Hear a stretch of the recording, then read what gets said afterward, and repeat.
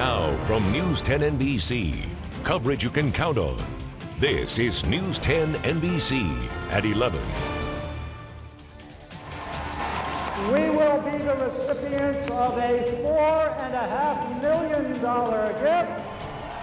A big donation tonight from two of the great Rochester families. The money will go towards building a new hockey arena at RIT. The money comes from the Gene Polisseni Foundation and the Tom Golisano Partnership. Good evening, I'm Leah Lando. And I'm Rich Funke. Those two men started Paychex together and they have donated tens of millions of dollars back to the community. Gene Polisseni passed away 10 years ago, shortly after starting the foundation, now run by his wife Wanda. He was a huge hockey fan.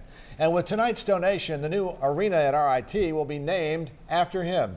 This is a, de a design of what it could look like. New at 11 tonight, Berkeley Brean was ice level when the crowd got the good news. Berkeley? Hey, Rich, uh, Lee, it's got to be one of the hottest tickets tickets in town. Uh, too hot, in fact. If you're not there at an RIT hockey game early, you're not getting a seat. So when the fans heard about the money and the new arena, no wonder they cheered as if the Tigers had scored.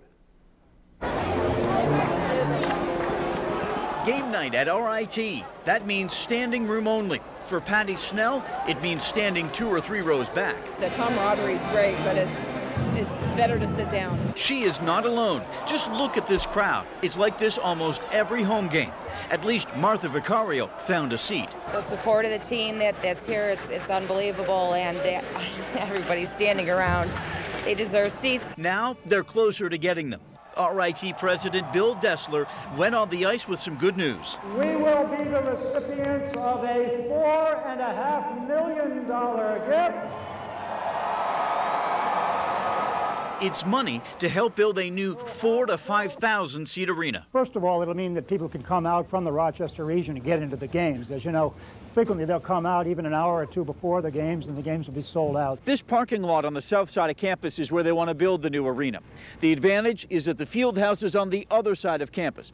So they could have events in both places on the same night and you'd still be able to find a place to park. The money comes from the Gene Polisseni Foundation and Tom Golisano Partnership. That was Polisseni's widow Wanda with President Destler on the ice. The arena will bear Polisseni's name, and it's going to come with a lot more legroom. It would be great to have a bigger place, absolutely. This donation brings up their total to $8 million. They need to raise 15 million in order to start building the $30 million arena. The idea, so they're halfway there, more than halfway. The idea is to start to build this arena next fall, and that means they could drop the puck on the brand new place at the beginning of the 2013 season. All right, Berkeley Brean reporting tonight with some very good news. Thanks, Berkeley.